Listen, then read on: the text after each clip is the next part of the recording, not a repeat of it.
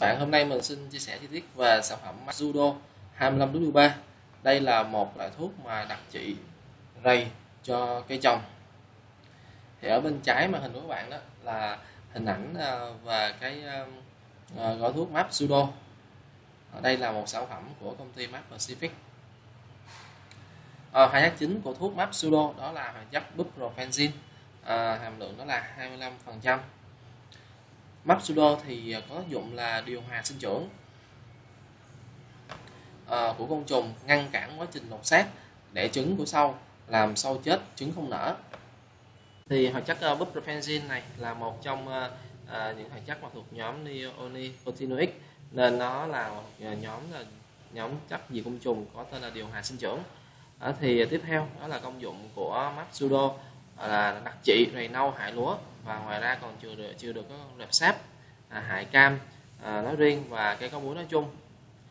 À, Mapsudo thì à, có tác dụng là tiếp xúc vị độc có hiệu lực cao và kéo dài ít độc với người vật nuôi và môi trường phù hợp với chương trình IBM thì mình xin đi vào cái phần quan trọng nhất của video này đó là chia sẻ và liều lượng sử dụng trong từng loại cây.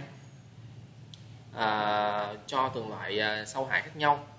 Thì à, đối với cây trồng là cây lúa để trừ con à, rầy nâu chúng ta pha cái liều đó là 15 g cho bình 8 lít à, hay là tương đương với 0,6 kg trên một hecta chúng ta phun khi rầy tuổi 1 đến tuổi 3 mật độ từ 1 đến 2 con trên một nhánh lúa là hiệu quả nhất. Thứ hai là trên dưa hấu chỉ con bọ chỉ chúng ta pha cái liều đó là từ 10 đến 15 g trên bình 8 lít. Chúng ta phun khi ờ, rệp sáp mới xuất hiện hoặc là rệp sáp ờ, ờ, còn non thì là hiệu quả nhất trong trường hợp mặt số cao. Chúng ta nên phun hai lần mỗi lần cách nhau 7 ngày. Chú ý là lượng nước trên phun trên hecta đối với cây cam là từ 400 đến 600 lít nước trên một hecta đối với cây lúa là 320 lít trên một à, hecta đây là lượng nước rồi nhé lượng nước trên hecta hiểu nhân tiện đây mình cũng sẽ các bạn một số uh, cái um, thuốc. Có hạt à, chất là buprofenzin.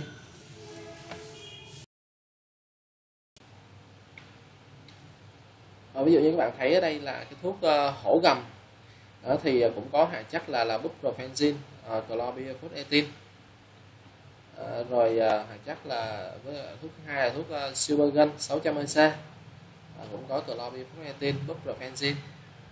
Ờ, thì những ờ, những cái thuốc này uh, thì có thuốc thì có hoạt chất đơn là buprofenzin à, giống như là sản phẩm chúng ta đang nói về à, có những thuốc thì nó lại có hai ba hoạt chất.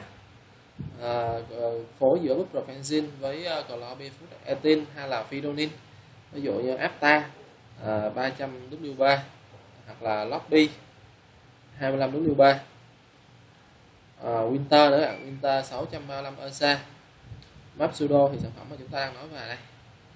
Rồi Benantigon đó, thì uh, website việt nam nông sạch com vn có rất nhiều uh, loại thuốc mà mà có cái hoạt chất là buprofensin thì các bạn có thể uh, tham khảo tại đây tại tại website này.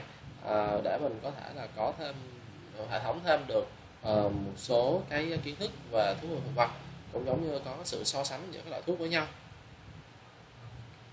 thì giả sử khi mà các bạn uh, xem một loại thuốc các bạn uh, muốn xem vào tiết các bạn click chuột vào mình muốn xem áp tay cách gì công dụng ra sao thì mình click chuột vào.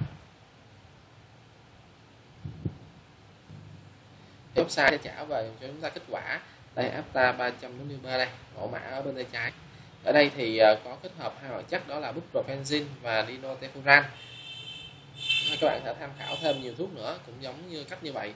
Thì mình cảm ơn các bạn đã dành thời gian theo dõi video của mình